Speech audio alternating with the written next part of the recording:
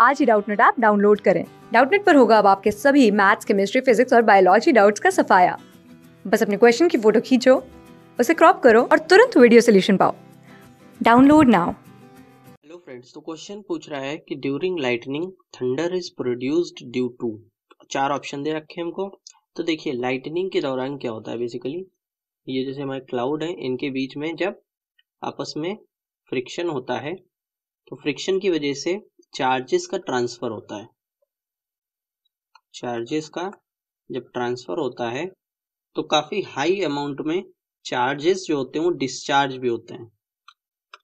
अगर किसी के पास ज़्यादा एनर्जी हो गई है तो वो एनर्जी को अपने मिनिमाइज करने की कोशिश करेगा।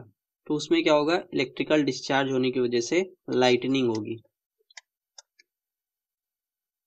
और लाइटनिंग का टेम्परेचर इतना ज़्यादा होता है कि आप कंपेयर कर सकते हैं कि जैसे अगर सन है तो उसका सरफेस का टेम्परेचर टी है तो लाइटनिंग का टेम्परेचर उसके चार गुना होता है फोर टी होता है।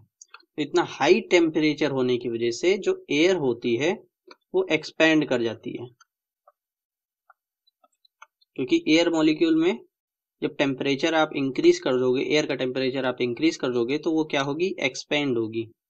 तो सडन एक्सपेंशन ऑफ़ एयर होने की वजह से क्या होता है? थंडर प्रोड्यूस होती है। I hope this video will help you आइए ऑप्शन चेक करते हैं? तो ऑप्शन नंबर हमारा होगा sudden expansion of air due to intense heat option one will be correct thank you class six से ट्वेल्थ से लेके NEET I I T JEE mains और एडवांस के लेवल तक।